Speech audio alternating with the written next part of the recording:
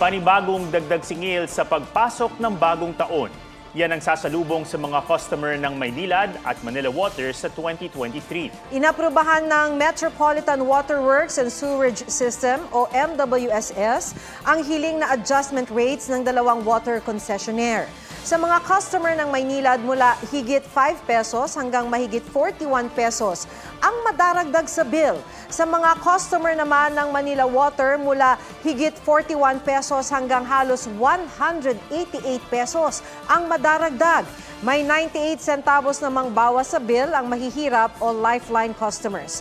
Pero bukod sa 2023, aprobado na rin ang dagdag singil ng Maynilad at Manila Water hanggang 2027.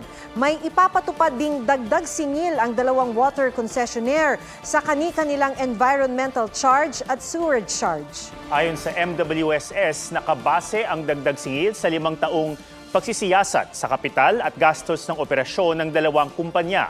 Nagpasalamat naman ang Manila Water at Maynilad sa pag-aproba ng MWSS sa hiling nilang taas singil. Makatutulong daw ito para maipagpatuloy at mapabuti nila ang kanilang serbisyo.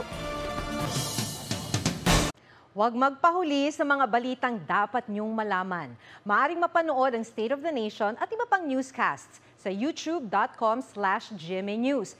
I-click lang ang subscribe button. Sa mga kapuso naman abroad, maaari kaming masubaybayan sa GMA Pinoy TV at www.gmanews.tv.